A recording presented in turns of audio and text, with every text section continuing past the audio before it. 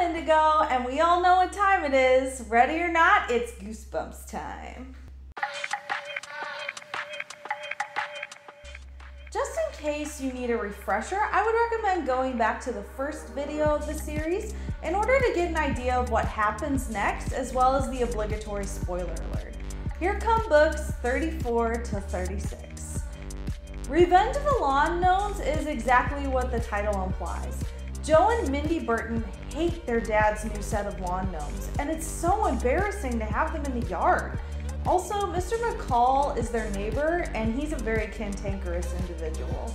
He and Mr. Burton are always trying to outdo one another to grow the biggest vegetables in their garden for the annual garden show.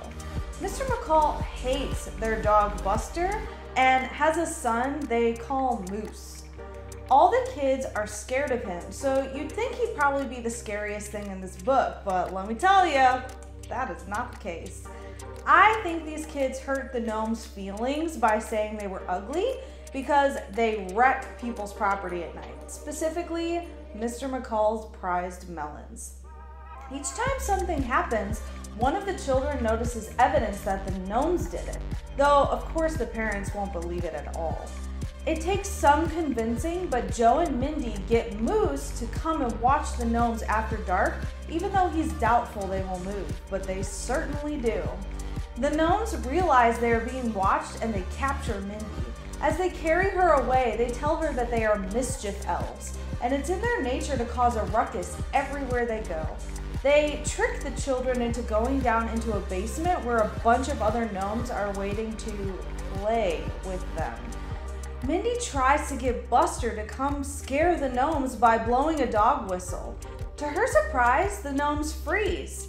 Not because of Buster, but because of the whistle.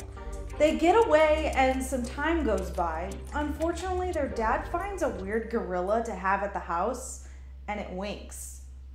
I'm honestly left wondering how big these gnomes were. In the book, it says the kids could barely move them because they were so heavy, but the gnomes I know aren't quite that big. It was a good story, I just couldn't visualize it. Next up is A Shocker on Shock Street. This is such a good one. It sounds like the universe of Erin and Marty. There's this movie series all about Shock Street.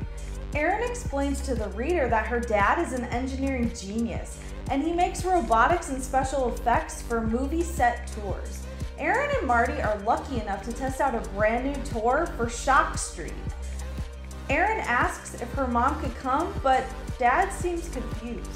Marty is always trying to be the brave one, and Erin wants to tear his pride down a little bit by having him admit he is scared. Regardless, shenanigans ensue as the tram takes several twists and turns through some very creepy places, like a cave full of worms and spiders. They know all the different villains and situations they will experience since they are such big fans of the Shock Street movies. Only the animatronics, like the mantis they encounter, seem to be alive. Erin and Marty finally escape the cave and make their way through a cemetery filled with zombies. They even find some werewolves, and Erin tries to take the mask off of one of them, only to prove her suspicion. Everything on the tour is very real. Even more hijinks ensue, and they finally find someone who directs them to go into a house. They were supposed to be filming something, but the children were never informed by their dad. Marty runs into the house, and Erin tries to save him, but it doesn't work. She turns to see a man and pleads with him for help, only to be shut down. You see, their dad was actually the one who programmed them.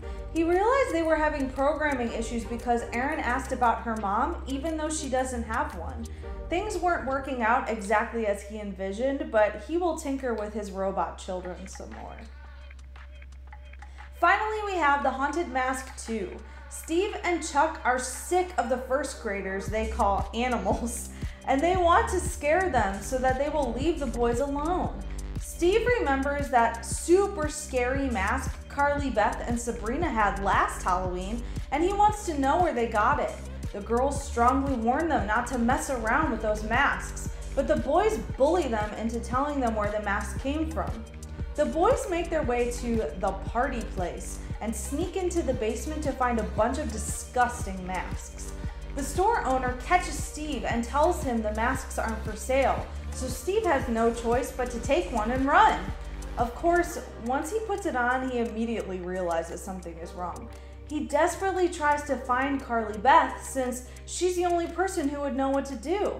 She reiterates the plot point from the last book that the only a symbol of love will break the curse. This mask is really affecting Steve because he's beginning to lose his strength. They try a few things to break the curse, but they don't work. With the last of his willpower, Steve and Carly Beth go back to the basement of the store. They find a bodysuit that appears to match the mask, and when Carly puts it near Steve, the mask comes off. Unfortunately, Chuck surprises them and he has another mask on. And there's three more books finished. If you like this series, please give me a thumbs up and don't forget to subscribe. Thank you so very much for watching.